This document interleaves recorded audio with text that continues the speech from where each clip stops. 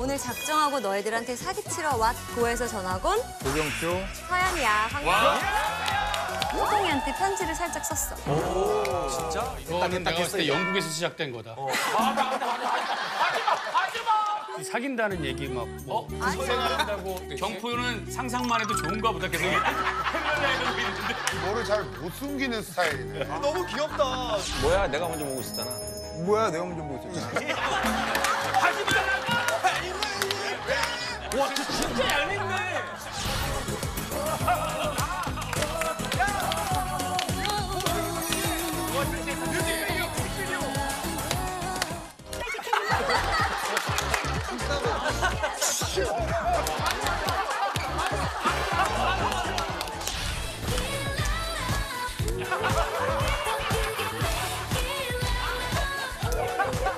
저희는 무반주입니다.